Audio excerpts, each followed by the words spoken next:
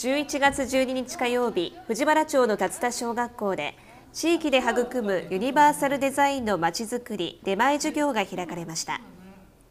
竜田小学校では人権や福祉などについて学んでもらおうと5、6年生を対象に毎年この授業を開いています。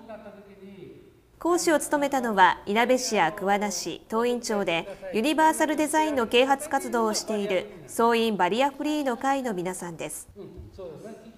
はじめに会員の伊藤義和さんがユニバーサルデザインを学ぼう私たちにもできるユニバーサルデザインと題しこれらのデザインの意味や考え方について説明しました。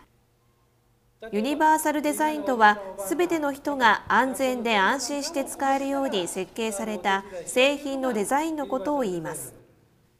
ここ数年日用品文房具をはじめ建築物などの環境に至るまでさまざまなものに採用されています。伊藤さんはユニバーサルデザインの考え方として大事なことは障害の有無にかかわらず困っている人がいたら思いやりと優しさを持って助けてあげるということ。日頃から実践してくださいと呼びかけていました。講義の後にはアイマスクと車椅子の体験を行いました。これは体の不自由な人について知るだけでなく正しい手助けの方法を学ぶものです。手助けする場合相手の立場に立って声をかけてあげることで手助けされる側もとても安心できるということです